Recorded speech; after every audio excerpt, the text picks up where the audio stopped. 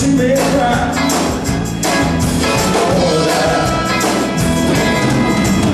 It's not unusual to